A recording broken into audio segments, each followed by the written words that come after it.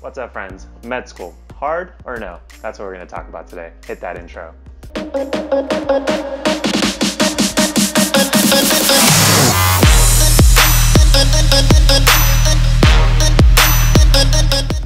What's up, guys? Welcome to the MD journey, where my job is to help you succeed in med school with less stress. My name is Laksh. In this video, we're going to talk about how hard is med school really?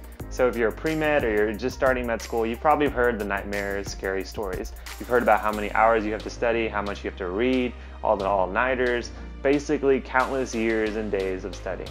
So is med school really that hard? The answer is kind of, but not for the reasons you think so. And to help make the point of why med school is not as scary as people make it out to be, I'm gonna use a prop. That's right, pancakes. Now the only thing that's getting in my way of eating these is you guys, so let's make this point really quickly. Now you may ask yourself, Laksh, what's wrong with eating chocolate, pretzel, pancakes every single day? Honestly, nothing. But if I had to tell you you have to eat these every single day, you may say yes. And the first week of med school, the second week of med school, you may be able to finish your stack. But what if I told you that everything you don't finish on your stack gets added to the next day? So for example, it's Wednesday, it's hump day, and you don't feel like studying. You do maybe a little bit, but whatever is left is going to be added to your next day. You're like, no big deal. I'll study tomorrow and I'll take care of this. But when you keep adding pancakes to your stack, eventually you're gonna get to the point where it's just too large to overcome. And eventually your stack is gonna get bigger and bigger and bigger. So that's enough for the pancakes. But that's basically what makes med school so tricky it's not really the material that's hard. It's actually probably on the same level of difficulty that your college classes were. The thing what makes med school difficult is a requirement of consistency. And it's not just a week, it's not just a month, it's four years of consistency. And so that really is what brings a lot of med students to feeling burnt out, feeling stressed, is because they have to remain consistent on kind of eating their stacks, keeping up with their material.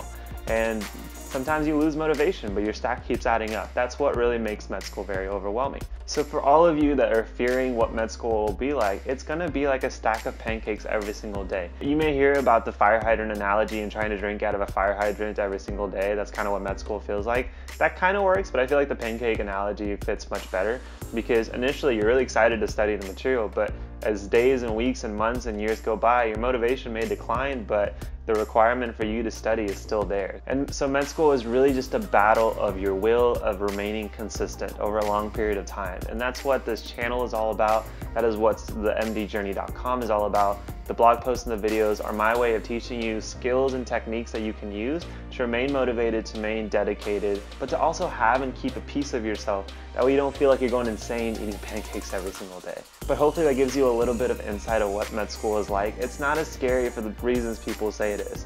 It's just a requirement of how dedicated and consistent you can be. And I know I've used that word a lot in this video, but it really is true. Those who remain consistent are usually the students that aren't stressed out, aren't burnt out, so that's pretty much my quick overview on how hard med school is really. It's really just a stack of pancakes every single day. Individually, they're not so bad, but over time, it does become to be a lot. So just like everything in life, just take it one step or one pancake at a time.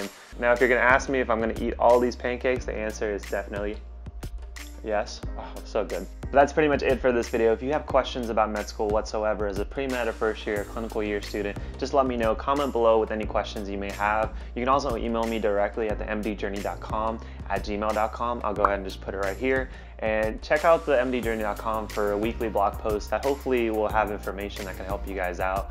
Um, if you liked what you heard in this video, then feel free to definitely hit a like on the video, subscribe to the channel to join the community. I have a new video coming out for you guys on a weekly basis. But again, thank you guys so much for watching. I'll see you guys in the next one, my friends. Take care.